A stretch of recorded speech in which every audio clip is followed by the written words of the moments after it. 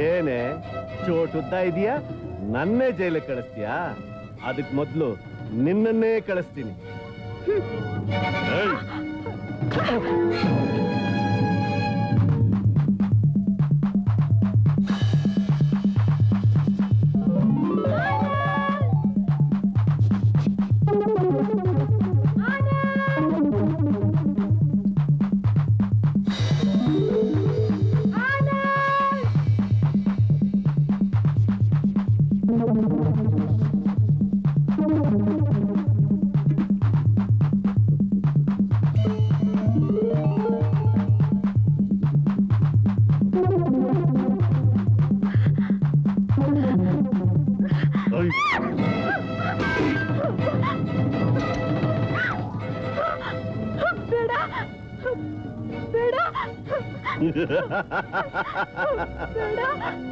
ಜೈಲಿಗೆ ಕಳಿಸ್ತೀಯಾ ಜೈಲ್ಗೆ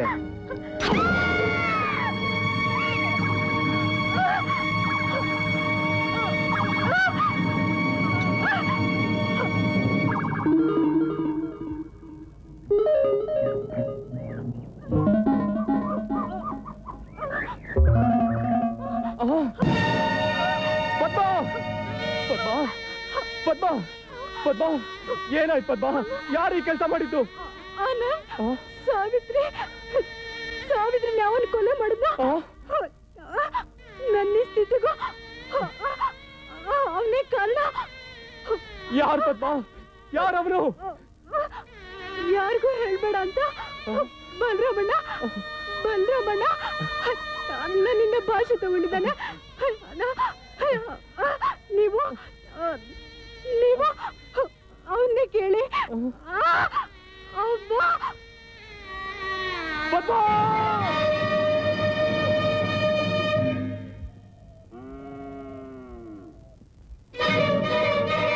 ಅನಂತಪ್ಪ ಏನಾಯ್ತು?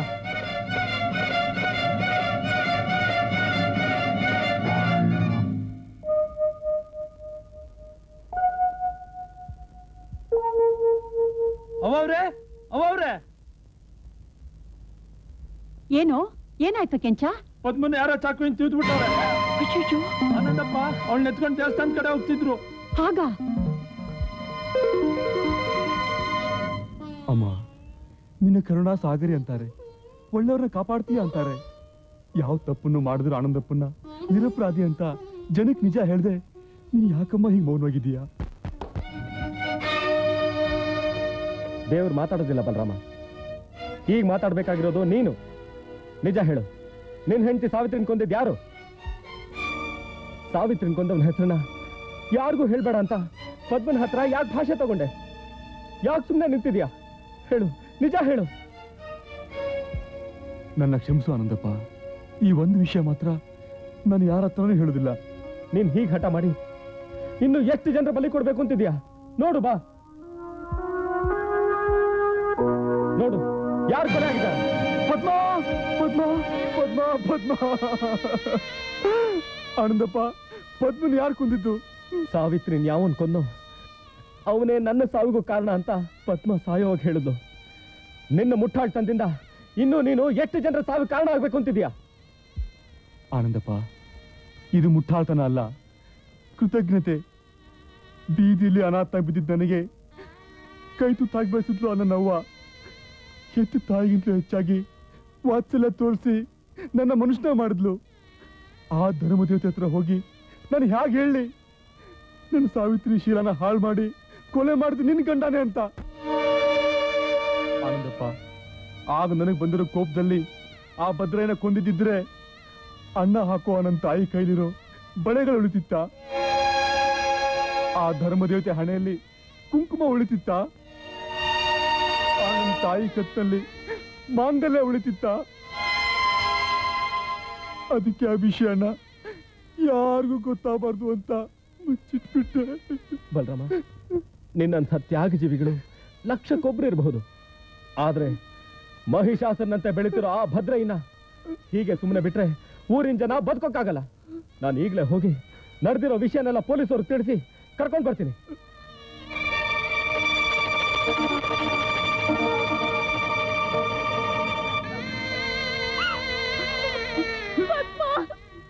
ಪದ್ಮ.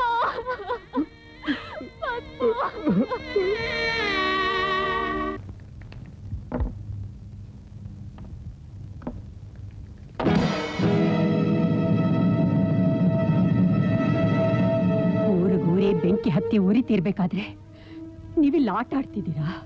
ಯಾಕೆ ಯಾಕಿಷ್ಟು ಕೋಪವಾಗಿದ್ಯಾ? ಇಷ್ಟೊತ್ತು ಎಲ್ಲೂ ಹೋಗಿದ್ದೆ. ದೇವಸ್ಥಾನಕ್ಕೆ. ಯಾಕೆ?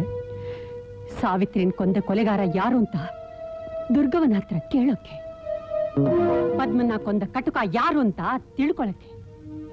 ದೇವ್ರ ಕಿರೀಟ ಕದ್ದ ಕಳ್ಳ ಯಾರು ಅಂತ ಪತ್ತೆ ಮಾಡಕ್ಕೆ. ಆ ನಿನ್ ದುರ್ಗವ್ವ ಇದಕ್ಕೆಲ್ಲ ಕಾರಣ ಯಾರು ಅಂತ ಹೇಳಿದ್ಲೇನು? ಹೇಳಿದ್ಲು ಯಾರಂತೆ? ನೀವೇ ಅಂತ. ಗೌರ ಏನ್ ತಮಾಷೆ ಮಾಡ್ತಿದ್ಯಾ? ಮುಚ್ಚಿರಿ ಬಾಯ್ನ. ಮಾಡೋದೆಲ್ಲ ಮಾಡ್ಬಿಟ್ಟು ನನ್ಗೇನು ಗೊತ್ತಿಲ್ಲ ಅಂತ ನಾಟಕ ಆಡ್ತಿದ್ದೀರಾ?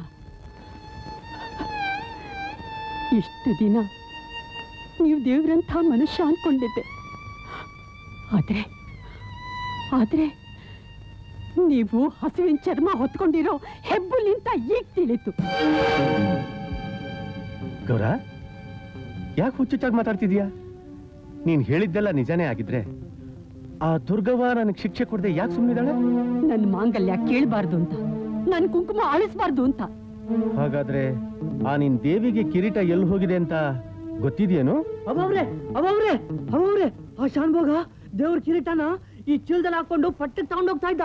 ನಾನು ರಾಣಿನು ಜಗಳ ಮಾಡಿ ಕಿತ್ಕೊಂಡ್ ಬಂದ್ಬಿಟ್ಟು.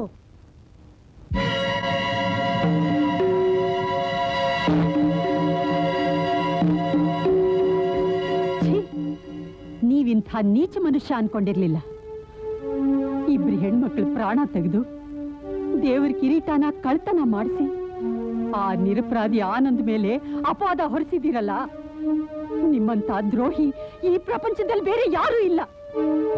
ಮನುಷ್ಯ ಮಾಡೋ ಅನ್ಯಾಯಕ್ಕೆಲ್ಲ ಸಮಯಕ್ಕಾದ ಶಿಕ್ಷೆ ಕೊಡ್ತಾಳೆ ಆ ದುರ್ಗವ್ವ. ಈಗ ನಿಮ್ಮ ಅನ್ಯಾಯಕ್ಕೂ ಕೊನೆಗಾಲ ಬಂದಿದೆ. ಈಗ್ಲಾದ್ರೂ ನಿಮ್ಮ ತಪ್ಪನ್ನೆಲ್ಲ ಜನಗಳ ಮುಂದೆ ಒಪ್ಕೊಳ್ಳಿ. ಆ ದುರ್ಗವ್ವ ಖಂಡಿತ ನಿಮಗೆ ಕ್ಷಮಿಸ್ತಾಳೆ. ಮುಚ್ಚೆ ಬಾಯಿ ನಿನ್ನ ಗಂಡನ ಮರ್ಯಾದೆಗಿಂತ ಕೆಲ್ಸಕ್ ಬಾರದ್ ನೀತಿನೇ ಹೆಚ್ಚಾಗೋಯ್ತಾ? ಹೌದು ನಿಮ್ಮಂಥ ನಡತೆಗೆಟ್ಟ ಮನುಷ್ಯನ್ಗಿಂತ ನನಗ್ ನೀತಿನೇ ಹೆಚ್ಚು. ನಿಮ್ಮ ತಪ್ಪನ್ನೆಲ್ಲ ಜನಗಳ ಮುಂದೆ ಒಪ್ಕೋತಿರೋ ಇಲ್ವೋ? ಅದೇ ಜನ್ಮದಲ್ಲಿ ಸಾಧ್ಯ ಇಲ್ಲ. ಹಾಗಾದ್ರೆ ನೀವು ಮಾಡಿರೋ ಪಾಪದ ಕೆಲ್ಸನೆಲ್ಲ ನಾನೇ ಹೋಗಿ ಊರ್ ಜನಕ್ಕೆ ತಿಳಿಸ್ತೀನಿ. ಗೌರಿ ಗಂಡನ ಮರ್ಯಾದೆನ ಬೀದಿ ಪಾಲ್ ಮಾಡಕ್ ಹೊರಟಿದ್ಯಾ? ನೀನು?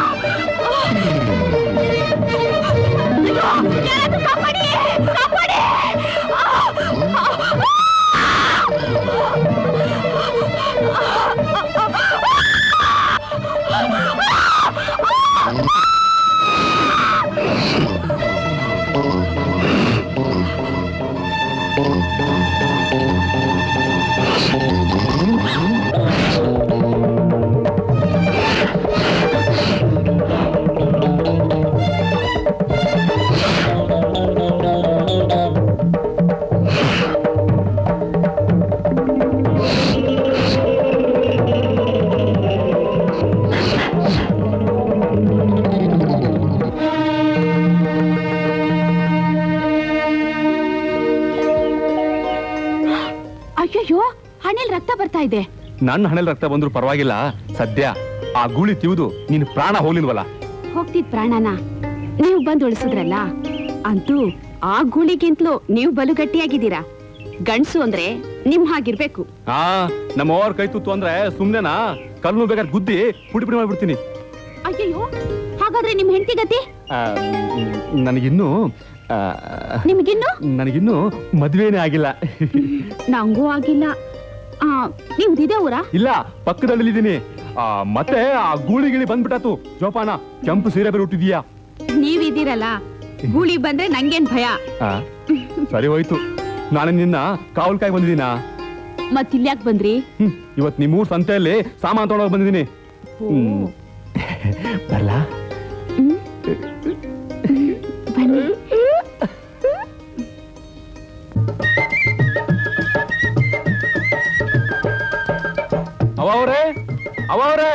ಬಂದೆ.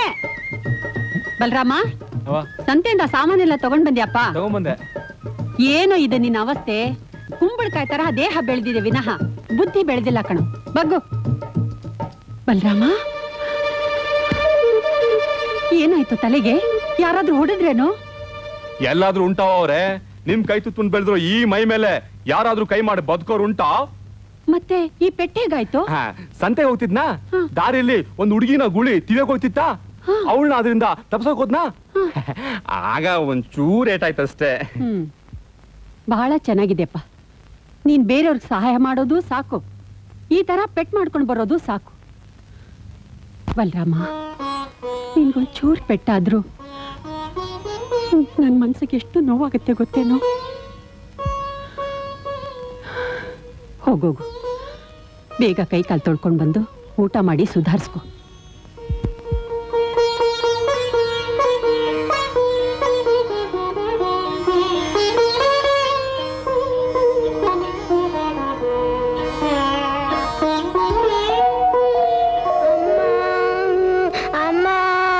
ಈ ಅನಾಥ ಕಾಯಿಲೆಯಿಂದ ಸತ್ತೋಗಿದೆ. ಯಾರು ದಿಕ್ಕಿಲ್ದೆ ಅಳ್ತಾ ಇರೋ ಈ ಮಗುನ ಯಾರಾದ್ರೂ ದೊಡ್ಡ ಮನಸ್ಸು ಮಾಡಿ ಸಾಕೊಂಡ್ರೆ ಇದ್ರ ಜೀವನಕ್ಕೊಂದು ದಾರಿ ಆಗತ್ತೆ. ಯಾಕೆ? ಯಾರಿಗೂ ಈ ಮಗು ಬೇಡವಾ?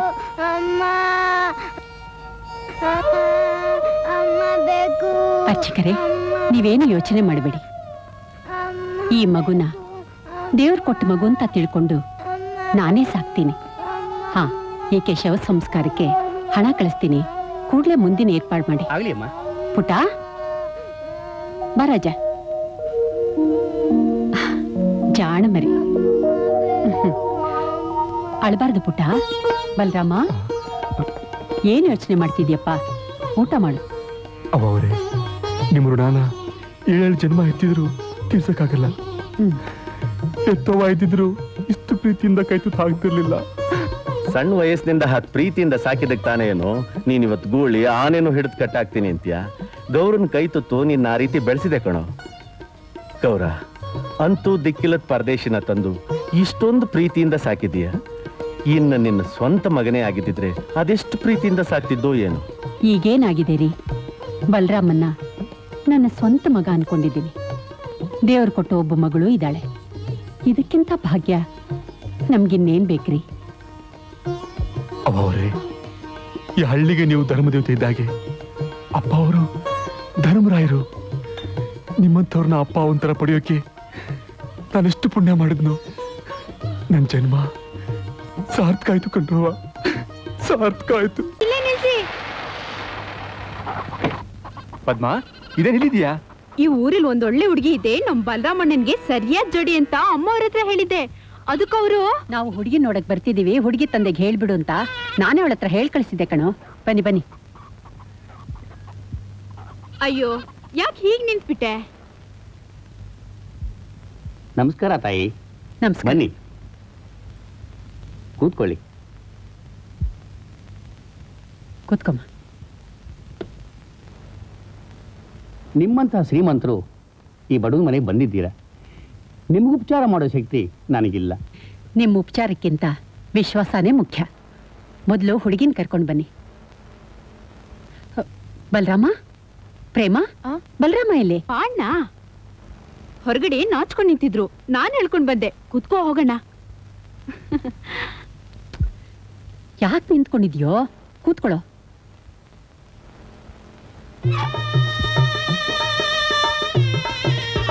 ಅಮ್ಮ ಇವಳೇ ಸಾವಿತ್ರಿ. ಅಮ್ಮ ಅವ್ರಿಗೆ ನಮಸ್ಕಾರ ಮಾಡಮ್ಮ. ಮುತ್ತೈದೆಯಾಗಿ ಸುಖವಾಗಿ ಬಾಳಮ್ಮ? ಕೂತ್ಕೋ.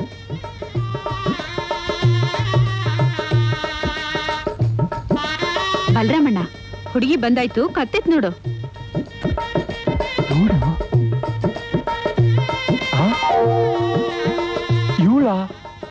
ಯಾಕೋ? ಚೆನ್ನಾಗಿಲ್ವಾ? ಅಯ್ಯೋ ಚೆನ್ನಾಗಿದ್ದಾಳೆ. ಅವರೇ ಈ ಹುಡುಗಿ ನನಗೆ ಮೊದಲೇ ಗೊತ್ತು. ನಂಗೂ ಗೊತ್ತು. ತಕ್ಕಳಪ್ಪ ಅದೇ ಅವಾಗಿಬ್ರು ನೋಡಿದ್ರಿ. ಅವರೇ ಅವತ್ ನಿಮ್ಗೆ ಹೇಳಿದ್ನಲ್ಲ ಒಂದ್ ಹುಡುಗಿನ ಗುಳಿ ತಿಳಕ್ ಹೋದಾಗ ಕಾಪಾಡ್ದಂದ್ಬಿಟ್ಟು ಆ ಹುಡುಗಿ ಇವಳೇ ಅವರೇ? ಓ ಹಾಗೋ ವಿಷಯ.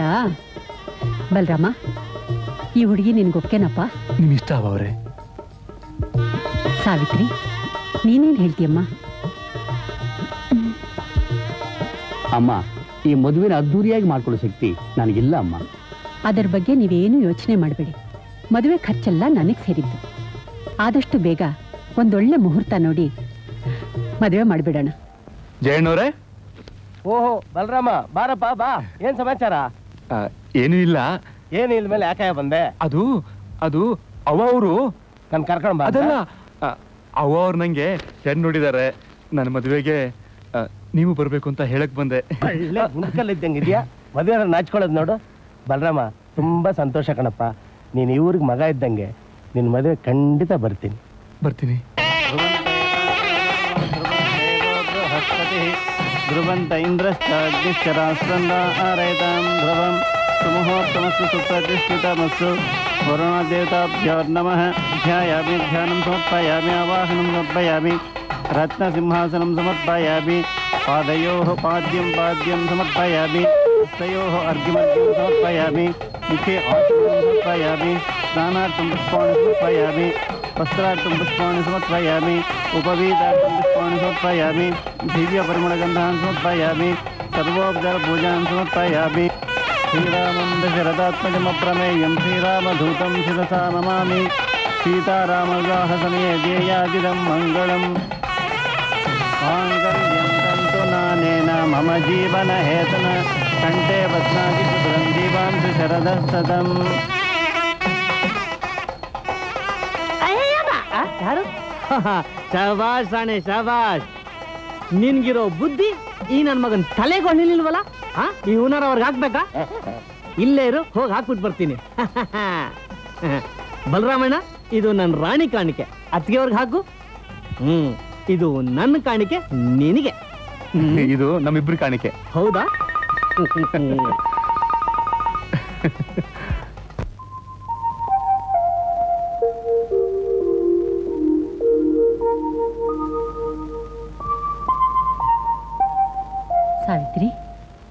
ಬಲಗಾಲಿಟ್ಟು ಒಳಗಡೆ ಹೋಗಮ್ಮ. ಯಾಕೆ ನಿಂತ್ಬಿಟ್ಟೆ? ಹೋಗಮ್ಮ. ನನ್ಗೆ ಯಾಕೋ ಹೆದರಿಕೆ ಆಗುತ್ತೆ. ನಮ್ ಬಲರಮಣ್ಣ ಹುಲಿ ಏನಲ್ಲ ನಡಿ ಒಳಗೆ.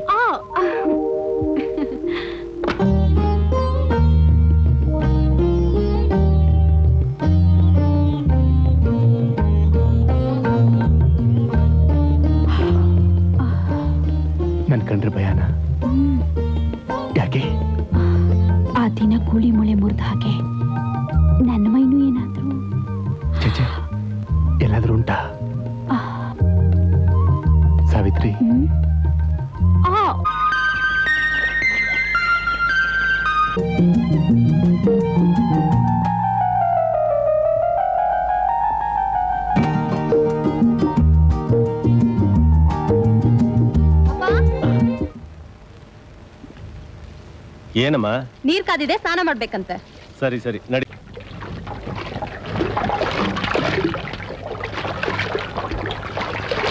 ಆ, ಬಲರಾಮ. ಏನಪ್ಪ ಅವ್ರೆ? ಇವತ್ ರಾತ್ರಿ ಗದ್ದೆಗೆ ನೀರು ಹಾಯಿಸೋದಕ್ಕೆ ಆ ಕೆಂಚನ್ಗೂ ಮುದ್ದನ್ಗೂ ಹೇಳಿದ್ದೆ. ಆ ಕೆಂಚ ನನ್ಗೆ ಹುಷಾರಿಲ್ಲ ನಾನು ಹೋಗಲ್ಲ ಅನ್ನಂತೆ. ಹೋಗ್ಲಿ ಬಿಡಿ ಪಾಪ ಸುಧಾರಿಸ್ಕೊಳ್ಳಿ. ನಾನೇ ಹೋಗ್ಬರ್ತೀನಿ. ಮರ್ತ್ಬಿಟ್ಟಿಯೋ? ಇಲ್ಲಪ್ಪ ಅವ್ರೆ.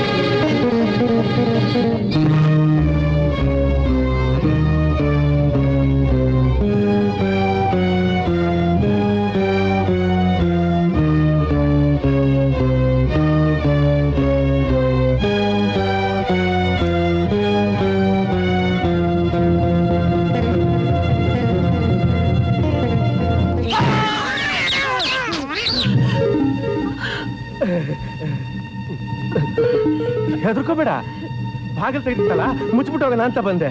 ಜೋಪಾನ ಬರ್ತೀನಿ. ಯಾಕ್ರಿ? ಏನಾಯ್ತು? ಯಾರು ಕಿರ್ಚ್ಕೊಂಡಿದ್ದು? ಹೌದು ನೀವ್ಯಾಕೆ ಇಲ್ಲಿ ಬಂದ್ರಿ? ಯಾರೋ ಓಡೋದಾಗೆ ಶಬ್ದ ಕೇಳಿಸ್ತಗೋರ ನೋಡೋಣ ಅಂತ ಬಂದೆ. ಅಷ್ಟ ಸಾವಿತ್ರಿ ಕಿರ್ಚ್ಕೊಂಡ್ಲು ಸಾವಿತ್ರಿನ? ಹ್ಞೂ. ಸಾವಿತ್ರಿ? ಸಾವಿತ್ರಿ? ಯಾಕಮ್ಮ? ಏನಾಯ್ತು? ಯಾಕೆ ಕಿರ್ಚ್ಕೊಂಡೆ? ಅದು ಕನಸಿನಲ್ಲಿ ಯಾರೋ ಕಳ್ಳರು ಬಂದು ಹಿಡ್ಕೊಂಡಂಗಾಯ್ತು. ಕೆರಚಿಬಿಟ್ಟೆ. ಹೌದು ಬಲರಾಮ ಎಲ್ಲಿ ಹೋಗಿದ್ದಾನಮ್ಮ? ಗದ್ದೆಗೆ ನೀರ್ ಹಾಯ್ಸೋಕ್ ಹೋಗಿದ್ದಾರೆ. ಇದೇನವ ಅವ್ರೆ? ಇಷ್ಟೊತ್ತಿನ ಎಲ್ರು ಇತ್ತಲ್ಲಿ ನಿಂತಿದ್ದೀರಾ? ಅಲ್ವೋ ರಾತ್ರಿ ಹೊತ್ತು ನೀನ್ ಗದ್ದೆ ತ ಹೋಗ್ಬೇಕಾದ್ರೆ ಬಾಗ್ಲಾಕು ಅಂತ ನಿನ್ ಹೆಂಡತಿಗೆ ಹೇಳೋಗದ್ ಬೇಡವಾ? ಯಾಕಪ್ಪ ಅವ್ರೆ? ಇಲ್ಲಿಂದ ದೆವ್ವ ಆಯ್ತಾ? ಹಾಗಲ್ಲ ಕಣೋ ಯಾರಾದ್ರೂ ಕಳ್ರು ಗಿಳ್ರು ಬಂದು ಸರಿ ನೀವು ಹೋಗೋಗಿ ಇವನಿಗೆ ಬುದ್ಧಿ ಹೇಳ್ತೀರಲ್ಲ. ಸಾವಿತ್ರಿ ಇನ್ಮೇಲೆ ಬಲರಾಮ ಇಲ್ದೇ ಇರುವಾಗ ಭದ್ರವಾಗಿ ಬಾಗ್ಲ ಹಾಕೊಂಡ್ ಮಲ್ಕೊಮ್ಮ? ಬಲರಾಮ ಇಷ್ಟ ಬೇಗ ಬಂದ್ಬಿಟ್ಟಲ್ಲ ಗದ್ದೆಗೆ ನೀರ್ ಹಾಯ್ಸ್ ಆಯ್ತೇನೋ? ಮುದ್ದ ನಾನು ನೀರು ಹಾಯಿಸ್ತೀನಿ. ಹೊಸ್ದಾಗಿ ಮದುವೆ ಆಗಿ ಚಳಿ ಯಾಕೆ ಒದ್ದಾಡ್ತೀಯ? ಮನೆ ಹೋಗು ಅಂದ. ಅದಕ್ಕೆ ಬಂದ್ಬಿಟ್ಟೆ. ಸರಿ ಸರಿ. ಹೋಗಿ ಮಲ್ಕೊ. ನಡೀರಿ.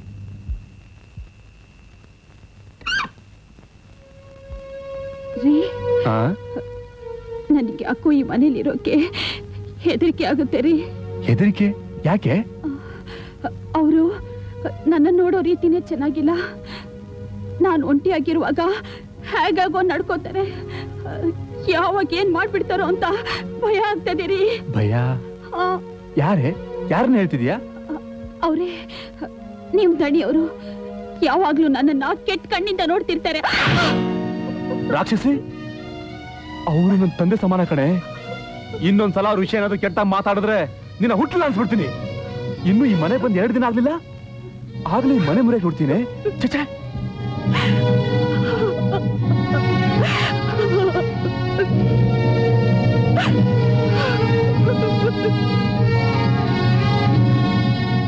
ನಮ್ಮ ಸಾವಿತ್ರಿ ಸಾಯಿಲಿದು ತಬ್ಬನೇ ಕಣಪ್ಪ. ಅವಳೇನಾದ್ರು ತಪ್ಪುಗಳು ಮಾಡಿದ್ರೆ ನೀನು ಸ್ವಲ್ಪ ಬುದ್ಧಿವಾದ ಹೇಳಿ ತಿದ್ಕೊಂಡು ಹೋಗಪ್ಪ. ಇನ್ಮೇಲೆ ನೀನೇ ಅವಳಿಗೆ ದಿಕ್ಕು ಕಣಪ್ಪ. ನೀವೇನು ಯೋಚನೆ ಮಾಡಬೇಡಿ. ನಿಮ್ಮ ಮಗಳನ್ನ ನನ್ನ ಜೀವಧಾರ ನೋಡ್ಕೊಳ್ತೀನಿ.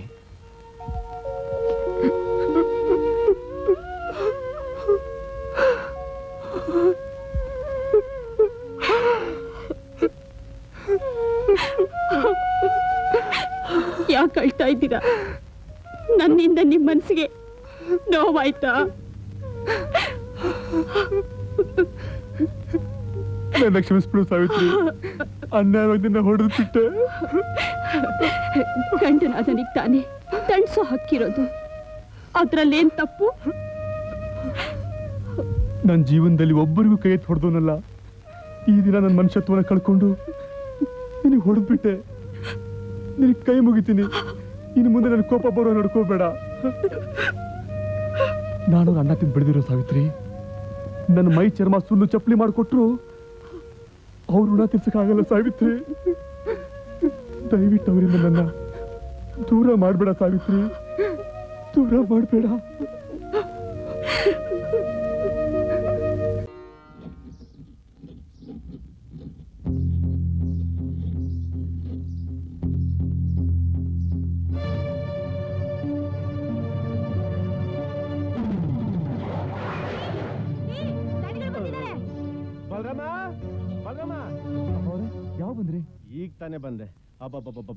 ವಿಪರೀತ ದಾಹ ಆಗಿದೆ ಕಡ ಸಾವಿತ್ರಿ ಅಪ್ಪ ಅವ್ರ ದಣದ್ ಬಂದವ್ರೆ. ಸ್ವಲ್ಪ ನಿಂಬೆ ಹಣ್ಣಿನ ಪಾನಕ ಮಾಡ್ಕೊಂಬ ತರ್ತೀನಿ. ಅಪ್ಪ ಅವರೇ ಪ್ರೇಮವ ಹೇಗಿದ್ದಾರೆ? ಡಾಕ್ಟ್ರು ಅವ್ರ ಕಾಲಿನ ವಾಸಿ ಮಾಡ್ತಾರಂತ? ವಾಸಿ ಆಗುತ್ತೆ. ಒಂದ್ ಹತ್ತೆರಡು ದಿವಸ ಆಸ್ಪತ್ರೆಲ್ಲೇ ಇರಬೇಕು ಅಂತ ಹೇಳಿದ್ದಾರೆ. ಮತ್ತೆ ಅವ್ರಿಬ್ಬರನ್ನ ಬಿಟ್ಬಿಟ್ಟು ನೀವು ಬಂದ್ಬಿಟ್ರಲ್ಲ? ಅವ್ರನ್ನ ನೋಡ್ಕೊಳಕ್ಕೆ ಡಾಕ್ಟ್ರು ನರ್ಸು ಗೌರ ಆನಂದ ಎಲ್ಲ ಅವರಲ್ಲ. ಏನೇ ಆದ್ರೂ ನೀವಿದ್ದಂಗ ಆಗತ್ತಪ್ಪ ಅವ್ರೆ? ಅಲ್ವೋ? ನಿನ್ನೆ ಮಳೆ ಬಿದ್ದೈತಾನೆ ಹ್ಞೂ. ಮಳೆ ಬಿದ್ದ ಮೇಲೆ ಉಳ್ಬೇಕು ತಾನೆ? ಉತ್ ಮೇಲೆ ಬೀಜ ಬಿತ್ಬೇಕು ತಾನೆ. ಅವ್ರೆ. ಇಷ್ಟೆಲ್ಲ ಕೆಲಸ ಇರ್ಬೇಕಾದ್ರೆ ನಾನು ಇಲ್ದಲೇ ಇದ್ರಾಗತ್ತಾ? ಇಲ್ಲಪ್ಪ ಅವ್ರೆ ಅದಕ್ಕೆ ಬಂದ್ಬಿಟ್ಟೆ. ಅದ್ ಸರಿ ಆ ನೇಗಲ್ ಗುಳನ ಪಕ್ಕದಲ್ಲಿ ಕುಲ್ಮೇರಮ್ಮನ ಕೊಟ್ಟಿತ್ತಲ್ಲ ಅದನ್ನ ತಂದ್ಕೊಟ್ನ? ಇಲ್ವಲ್ಲ? ಕೊಟ್ಟು ಕೊಟ್ ಹತ್ತೆರಡು ದಿವಸ ಆಯ್ತಲ್ಲೋ ಮೊದ್ಲು ಮೊದ್ಲೋಗಿಸ್ಕೊಂಬ ಹಂಗೆ ಹೋಗ್ತಾ ಆ ಸಿದ್ದನಿಗೆ ನಾಳೆ ಬೆಳಿಗ್ಗೆ ಉಳೋದಿಕ್ಕೆ ಹತ್ತೆರಡು ಏರ್ಗೇಳು. ಸರಿಯಪ್ಪ ಅವ್ರೆ ತಗೊಳ್ಳಪ್ಪ ಅವ್ರೆ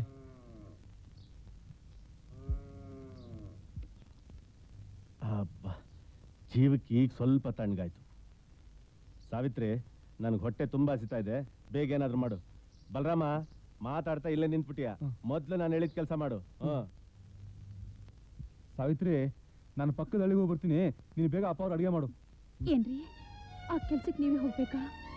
ಯಾಕೆ? ಈ ಗಿಳಿ ಮರಿ ಕೆನ್ನೆ ಕಚ್ಕೊಂಡು ಇಲ್ಲಿ ಇರುವಂತೀಯಾ? ಚೇಚೆ ಹಾಗೇನಿಲ್ಲ. ಆ ಕೆಲ್ಸಕ್ಕೆ ಬೇರೆ ಯಾರನ್ನಾದ್ರೂ ಕಳ್ಸಿದ್ರೆ ಆಗೋಲ್ವಾ ಅಂತ? ನಾನೇ ಆಳು. ನನಗೊಬ್ಬ ಆಳ. ನೋಡು ಅಪ್ಪ ಅವ್ರ ಮಾತಿಗೆ ವಿರುದ್ಧ ನಡ್ಕೊಳ್ಳೋ ಅಭ್ಯಾಸ ನನಗಿಲ್ಲ ಅದ್ ಸರಿ? ನನ್ನ ಯಾಕೆ ಹೋಗ್ಬೇಡ ಅಂತಿದ್ಯಾ? ಅಲ್ಲ ಮನೇಲಿ ನಾನೊಬ್ಳೆ ಇರುವಾಗ ಯಾವಾಗ್ಲೂ ನನ್ನನ್ನ ಕೆಟ್ಟ ಕಣ್ಣಿಂದ ನೋಡ್ತಿರ್ತಾರೆ. ಯಾಕೆ ಅರ್ಧಕ್ಕೆ ನಿಲ್ಲಿಸ್ಬಿಟ್ಟೆ? ಅದೇನ್ ಧೈರ್ಯ ಹೇಳು. ಅಲ್ಲ ಅಮ್ಮನೂ ಊರ್ಲಿಲ್ಲ ಪ್ರೇಮನೂ ಊರಲಿಲ್ಲ ಮನೆಗೆಲ್ಲ ನಾನು ಒಬ್ಳೆ ಇರ್ತೀನಲ್ಲ ಅಂತ. ನೀನೇನು ಕಾಡ್ನಲ್ಲ ಇದೀಯಾ? ಹುಲಿ ಸಿಂಹ ತಿನ್ಬಿಡ್ತು ಅನ್ನೋದಕ್ಕೆ. ಹುಲಿ ಸಿಂಹ ಆದ್ರೆ ಇದು ಕೆಟ್ಟ ಪ್ರಾಣಿ ಅಪಾಯ ಅಂತ ತಿಳ್ಕೋಬಹುದು ಮನುಷ್ಯರಲ್ಲಿ ಯಾರ್ ಹುಲಿ ಯಾರ್ ಇಲಿ ಅಂತ ಕೊನೆವರೆಗೂ ಗೊತ್ತಾಗೋಲ್ಲ. ಅಯ್ಯೋ ಹುಚ್ಚಿ. ಈ ಮನೆ ದೇವಸ್ಥಾನ ಇದ್ದ ಹಾಗೆ. ಧರ್ಮ ದೇವತೆ ಇರೋ ಜಾಗ.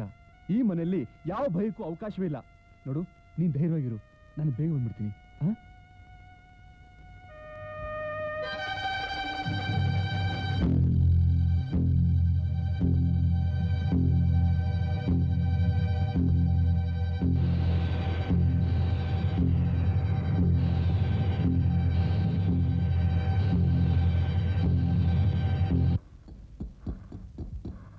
ಏನ್ ರಮಣ ನೀನ್ ಕೆಲಸ ಮಾಡ್ತಿದ್ಯಾ? ನಿನ್ ಮಗ ಎಲ್ಲಿ? ಜ್ವರ ಬಂದು ಮಲಗಿಬಿಟ್ಟಿದ್ದಾನೆ ಬಲ್ರ ಮತ್ತೆ ನಮ್ಮ ನೇಗರುಗಳು ಆಗಿದ್ಯಾ? ಚಮಟಿ ಹೊಡೆಯೋರು ಯಾರು ಇಲ್ಲ. ಇನ್ನೊಂದ್ ಎರಡ್ ಮೂರು ದಿವಸ ನಾನೇ ತಂದ್ಕೊಡ್ತೀನಿ ನಿಮ್ಮ ಮನೆ ಹತ್ರ. ಅಯ್ಯೋ ಬರೀ ಹೇಳೋದು ಅಪ್ಪರು ಬೈದ್ ಬಿಡ್ತಾರೆ. ಒಂದ್ ಕೆಲಸ ಮಾಡು. ಅದನ್ನೆಲ್ಲ ಕಾವು ಹಾಕು. ನಾನೇ ಚಮಟಿ ಹೊಡಿತೀನಿ. ಆಯ್ತು ಬಲರಾಮಣ್ಣ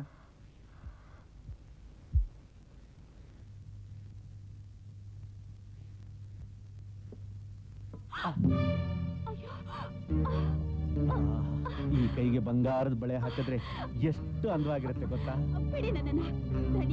ನಾನ್ ನಿಮ್ ಮಗಳ ಸಮಾನ. ಹೀಗೆಲ್ಲ ಕೆಟ್ಟ ದೃಷ್ಟಿಯಿಂದ ನೋಡ್ಬಾರ್ದು. ಬಿಡಿ ಅಯ್ಯೋ ಮಂಕೆ ಜಗತ್ನಲ್ಲಿ ಒಳ್ಳೆ ದೃಷ್ಟಿ ಕೆಟ್ಟ ದೃಷ್ಟಿ ಯಾವುದೂ ಇಲ್ಲ. ಎಲ್ಲ ನಮ್ ನಮ್ ಭಾವನೆ ಅಷ್ಟೇ. ನೋಡು ನಮಗ್ ಲಾಡು ತಿನ್ನಕ್ ಇಷ್ಟ ಆದ್ರೆ ಲಾಡು ತಿಂತೀವಿ ಜಿಲೇಬಿ ತಿನ್ನಕ್ ಇಷ್ಟ ಆದ್ರೆ ಜಿಲೇಬಿ ತಿಂತೀವಿ ಇದು ಹಾಗೆ. ನನಗೆ ನೀನಿಷ್ಟ ಹೆದರ್ಬೇಡ ಈ ಮನೆಗೆ ಬಂಗಾರದಲ್ಲಿ ಅಭಿಷೇಕ ಮಾಡಿಸ್ತೀನಿ.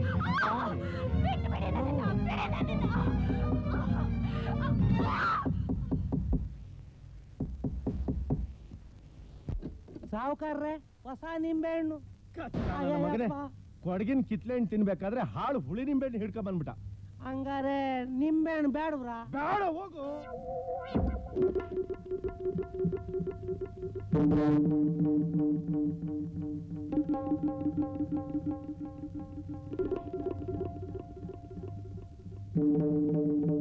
ಬಿಟ್ಬಿಡಿ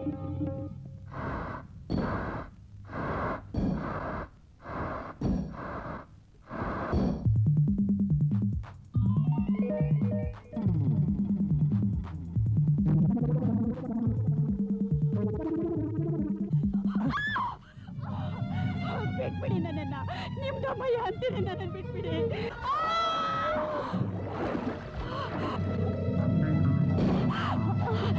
ಬಿಡಿ ನನ್ನ, ನಿಮ್ ದಮ್ಮಯ್ಯ ನನ್ ಶೀಲ ಹಾಳು ಮಾಡಬೇಡಿ. ಬಿಟ್ಬಿಡಿ ನನ್ನನ್ನ.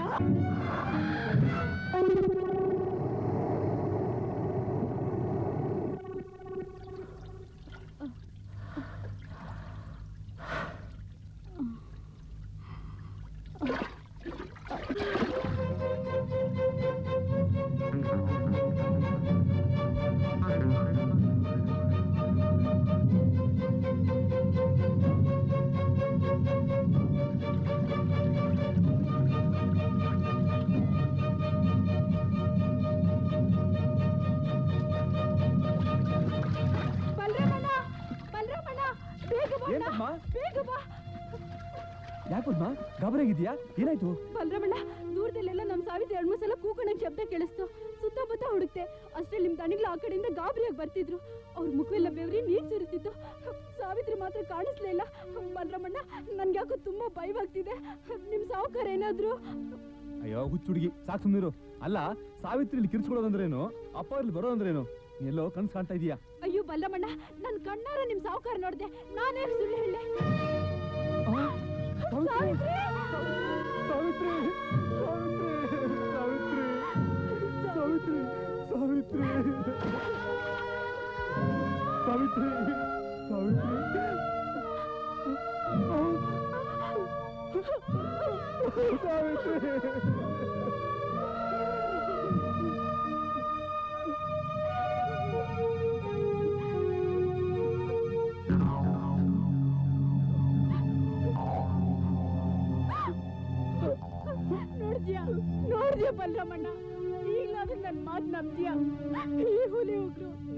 ಸಾವುಕಾರ್ದು ತಾನೆ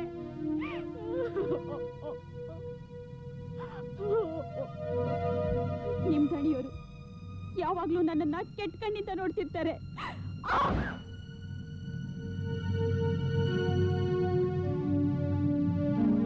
ಭದ್ರಯ್ಯ. ಭದ್ರಯ್ಯ.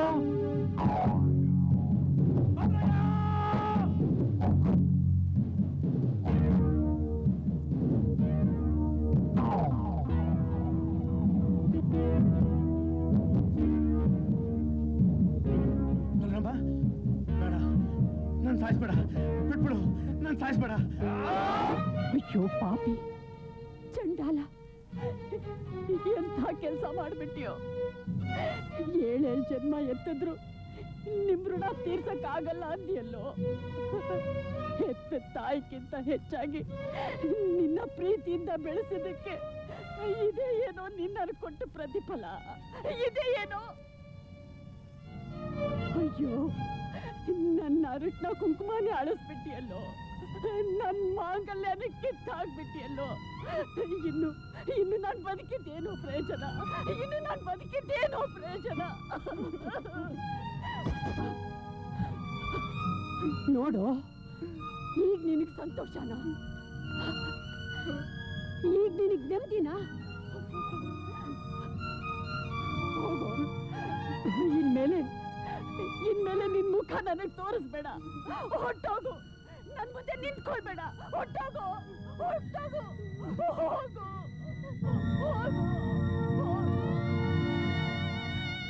ಅಣ್ಣ ಅಣ್ಣ. ಏನಣ್ಣ ಯೋಚನೆ ಮಾಡ್ತಿದ್ಯಾ? ಸಾವಿತ್ರಿ ನೆತ್ಕೊಂಡ್ ನಡಿ.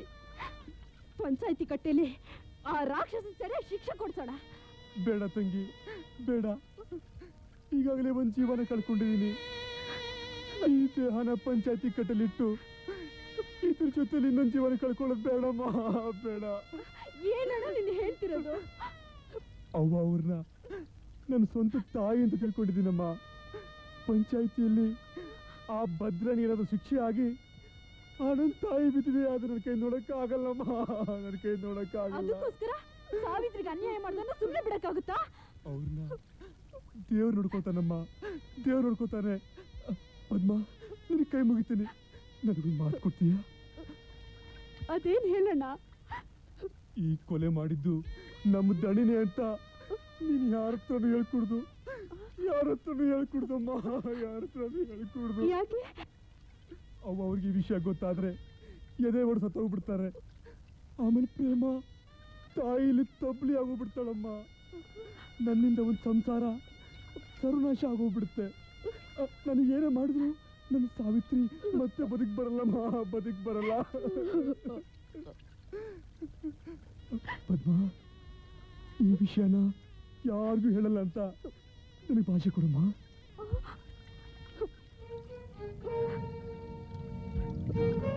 ನಿನ್ನ ಬಲರಾಮಣ್ಣ ಇನ್ನೂ ಸ್ವಲ್ಪ ದಿನ ಬದುಕಿರ್ಬೇಕು ಅನ್ನೋ ಆಗಿದ್ರೆ ಭಾಷೆ ಕೊಡು. Milagre! Ministra!